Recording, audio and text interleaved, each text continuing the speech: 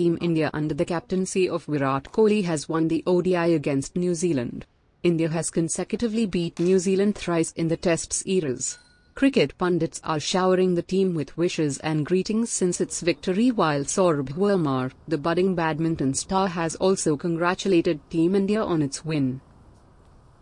Yeah, definitely congratulations to Team India for winning the New Zealand, uh, winning the uh, series in New Zealand.